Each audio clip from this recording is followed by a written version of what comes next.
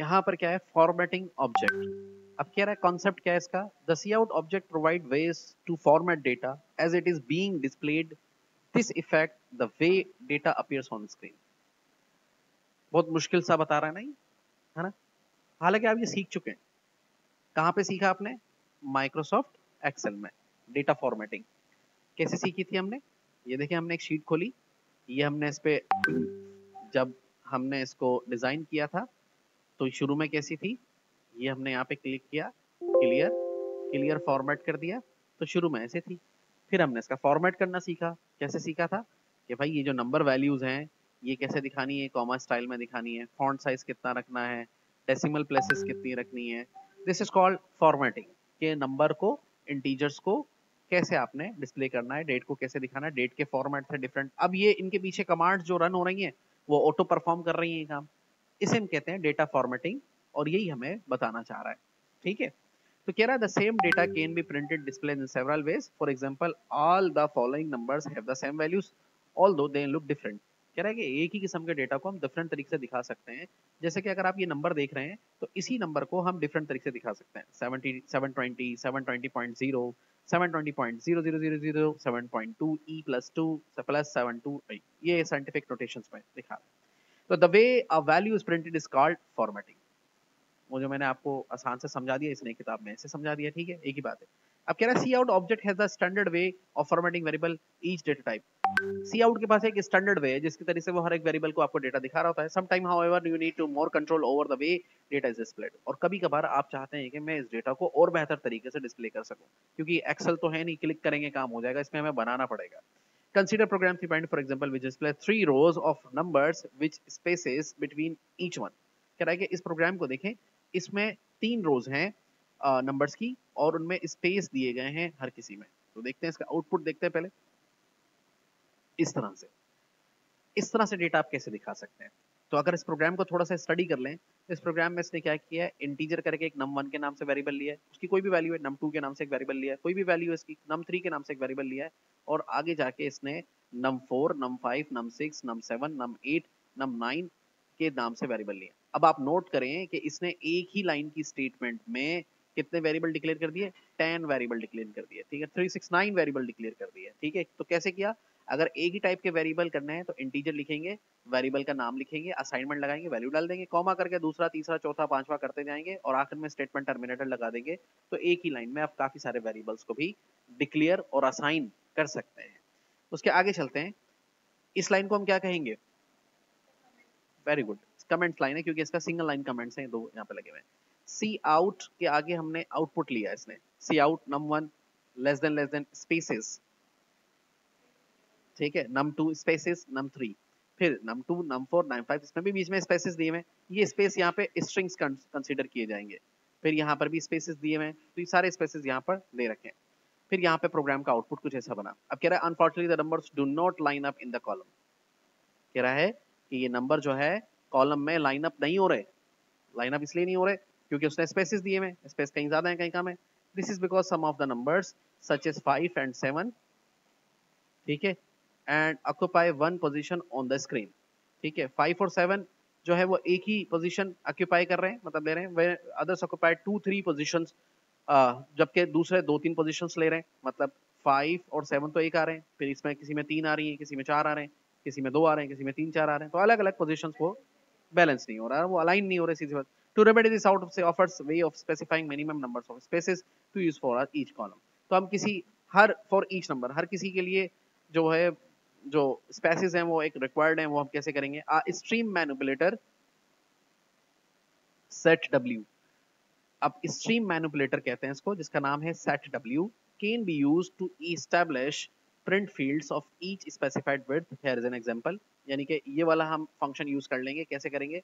जैसे वैल्यू है 23 सी out set 5 set w5 मतलब ये पाँच कॉलम रिज़र्व करेगा इसकी वैल्यू के लिए। कितने कॉलम रिज़र्व करेगा? पाँच कॉलम, ठीक है? और उसकी वैल्यू दिखा देगा। The number the parenthesis word set W specify the field width यानी कि इसका जो क्या सेट कर रहा है वो विड्थ अब थोड़ा सा आपको दिमाग में डालना पड़ेगा। हमारा प्रोग्राम जब रन हो रहा होता है तो उसके पास एक रो के अंदर 80 कॉलम होते हैं और एक स्क्रीन जो सामने दिख रही होती है, उसमें 24 या 25 रोज होती हैं। 24 कंसीडर करते हैं। तो अब उन 80 कॉलम में से सेट डब्ल्यू फ़ंक्शन जो है, वो पाँच कॉलम्स को रिज़र्व कर लेगा, जो भी डेटा डालेंगे उसके लिए, ठीक है? और उसके अंदर आगे वाला वो वैल्यू दिखा देगा। तो आगे कह रहा है the number the parenthesis word set W specify the field width तो उसकी वो विड्थ को सेट कर देगा। अब ये विड्थ को कैसे, ये एक्सेल में भी हो रहा होता है। देखें एक्सेल में क्या है कि यहाँ पर आप फॉर्मेट में जाएँगे, जब कॉलम विड्थ पे क्लिक करेंगे तो आप यहाँ जब वन लिख रहे होते हैं और जिसको ओके okay करते हैं तो इसमें कितने लेटर की गुंजाइश है? एक। तो ये सेट डब्ल्यू वन हो गया।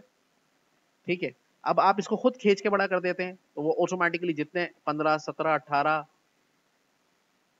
समझ रहे और उसको आप सिर्फ़ सेट कर दें तो कॉलम विड्थ में जाके यहाँ पे आपने फाइव कर दिया तो अब इस कॉलम ने पूरी शीट में से पाँच लेटर का स्पेस ले लिया। ये सेट डब्ल्यू फाइव हो गया। सही है? लेकिन चूँकि स्क्रीन पे एक्सेल तो चल नहीं रहा तो कमांड के ज़रिए काम करना तो एक कॉलम के लिए हमने पाँच ले लिए उसके लिए। ठीक है, आगे चलते हैं। फिर कह रहा है this will cause the following output अब इसका आउटपुट कुछ ऐसा हो जाएगा। कैसा आउटपुट जाएगा? ब्रैकेट एंड ब्रैकेट ये आ गया। और पाँच स्पेसेस जो हैं बीच के अंदर लेके 23 को राइट साइड पर रखेगा और ये स्पेस खाली रखेगा।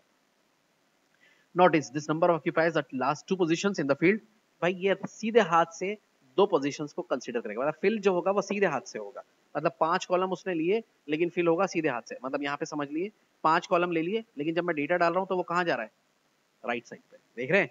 तो वो भरना कहाँ से शुरू हो रहा है? राइट साइड से। अभी एक था, अभी दो हो गए। तो सीधे हाथ से भर रहा है वो बाय डिफ़ॉल्ट ठीक है? बाद में हम चेंज करते हैं उसको आगे पीछे। ओके फिर ये कह रहा है not use the entire field cout field the extra three position with blank spaces और बाकी तीन खाली रहेंगे, उसको भी फिल कर देगा। Because the number appears to the right side of the field blank spaces padding in front of it is right justified यानी कि क्योंकि उसकी जो बाय डिफ़ॉल्ट कॉन्फ़िगरेशन है, वो राइट जस्टिफाइड है। मतलब राइट साइड से फिलअप करना शुरू करेगा पाँच कॉलम्स में। तो program three shows the number of programs present on the columns and line perfectly by set W तो वो इसने वही प्रोग्राम दोबारा लिखा और अब इस दफ़ा प्रोग्राम के अंदर इसने क्या किया? डायरेक्ट स्पेसिस नहीं यूज़ किए, बल्कि set W six set W six पहली रो में छह कॉलम हर एक कॉलम के लिए छह स्पेसिस का इस्तेमाल किया इसने। दूसरे के भी ऐसे किया तो इसका आउटपुट बिल्कुल परफेक्ट आ गया। अब इस आउटपुट में और इस आउटपुट में काफ़ी फ़र्क है। और आप इससे ज़्यादा भी कर सकते हैं। सिक्स की जगह पे एट एट कर लें, टेन टेन कर लें तो इस तरह से आप इसके डेटा को यूज़ कर सकते हैं। ठीक है, लेकिन तरीका यूज़ कर लें, क्या है? कि आपने लिखना क्या है? सबसे पहले देख लें, सी आउट लिखना है। पहले डिसाइड करना है कितने spaces in terms of columns में आपका रिक्वायर्ड है। फिर जिस वेरिएबल की वैल्यू आपने दिखानी है, उसका नाम लिखना है। ठीक है, समझ में आ गई? आगे चलते हैं। इस पर कब ज़्यादा कर सकते हैं? सबके छह छह रखें। तो किसी का छह रख लें, किसी का आठ रख लें, किसी का दस रख लें, ये भी हम कर सकते हैं। Okay a new header file io main ip is included in the program. देखिए, किताब लिखने वाला कितना चलाक होता है कि जब आप ये set w फ़ंक्शन यूज़ करेंगे तो सेट डब्ल्यू फ़ंक्शन कौन सी फ़ाइल में मौजूद है, वो आपको यहाँ शुरू में ऐड करानी होगी। इंक्लूड फ़ंक्शन के साथ io main ip io main ip file जो है सेट डब्ल्यू फ़ंक्शन को आपके प्रोग्राम के अंदर एनेबल करेगी। ये बात कुछ समझ में आई? नहीं आई? नहीं समझ में आई। ठीक है ना? मिसाल के तौर पर मेरे घर पे इंटरनेट नहीं है तो मैं सर्विस प्रोवाइडर के पास गया और उसने मुझे घर पे इंटरनेट का मॉडेम लगा दिया। तो मेरा घर में अब इंटरनेट इनेबल हो गया। बात समझ में आई? तो सारे फ़ंक्शन जो होते हैं वो हेडर फाइल्स में होते हैं और हेडर फ़ाइल अलग अलग है और वक्त के साथ साथ नई नई हेडर फाइल्स आती रहती हैं। तो आप कोई नया फ़ंक्शन सीखेंगे तो उसकी हेडर फ़ाइल अपने प्रोग्राम में इस तरह से ऐड करा लेंगे ताकि उसके अंदर के जितने फ़ंक्शंस हैं आप यूज़ कर सकें इजीली सही है। अगर आप ये यूज़ नहीं करेंगे तो ये फ़ंक्शन आपके प्रोग्राम में एरर देता रहेगा और प्रोग्राम बोलता रहेगा अनस्पेसिफाइड फ़ंक्शन ठीक है?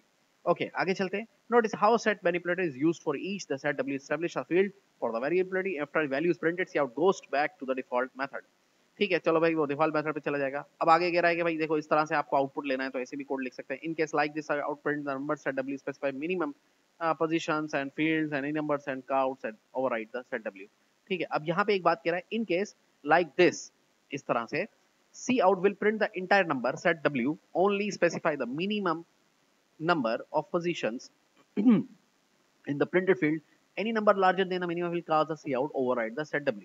मतलब कह रहा है कि भाई ये one eight three time seven और सेट डब्ल्यू कितना रखा हुआ है? टू तो क्या करेगा आउटपुट में? हाँ? बस वो राइट वाली दे देगा, बाकी बाकी को वो स्किप कर देगा। ठीक है ना? कह रहा है ना any larger than number will cast cout to overwrite the set W value ठीक है ना? ओवरराइट कर देगा उसके बाद। You may specify field of the which of the any type of data मतलब किसी भी डेटा टाइप के ऊपर आप इसको यूज़ कर सकते हैं। Integer floating point numbers and string objects तीनों के लिए आप इनको यूज़ कर सकते हैं। कौन से फ़ंक्शन को? सेट डब्ल्यू फ़ंक्शन को। तो यहाँ पे देखिए एक प्रोग्राम लिखा है इसने। एक वेरिएबल लिया इंटीजर वॉल 3928 एक डबल वेरिएबल लिया 91.5 और एक स्ट्रिंग वैल्यू ले लिया इसने जॉन जे स्मिथ ठीक है ना? ओके यहाँ पे सेट डब्ल्यू किया इसने किसके लिए? इंट वैल्यू के लिए सेट एट किया इसने डबल वैल के लिए और सेट सिक्सटीन किया स्ट्रिंग के लिए। तो इसमें आपको तीनों के बारे में बता दिया गया कि अगर तीनों प्रोग्राम तीन टाइप के वेरिएबल भी आ जाएँ तो तीनों में सेट डब्ल्यू काम करेगा और इसका आउटपुट कुछ इस तरह से आएगा। तीनों राइट साइड से फिल हो रहे हैं, क्योंकि तीनों के कॉलम्स की स्पेसिफिकेशन अलग अलग है। इस सेट क्लियर चलें, आगे चलते हैं। तो कह रहा है the field with the floating point numbers which decimal point and the string objects including spaces और यहाँ पे बाकी चीज़ के बारे में बता रहा है। ओके okay, अब कह रहा है सेट प्रिसेशन मैनिपुलेटर पहला वाला मैनिपुलेटर कौन था था? जो भी हमने सीखा। सेट डब्ल्यू मैनिपुलेटर था। अब दूसरा मैनिपुलेटर के बारे में समझ रहे हैं सेट प्रिसिशन के बारे में। ठीक है?